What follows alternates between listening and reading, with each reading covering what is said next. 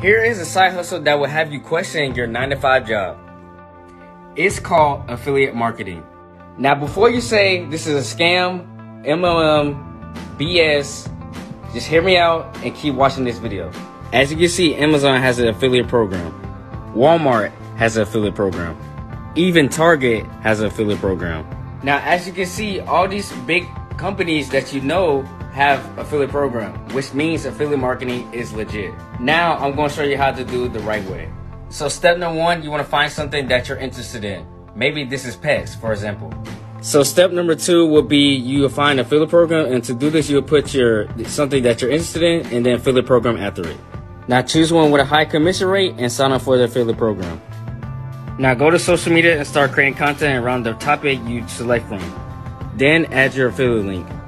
When people buy from your link, you make money.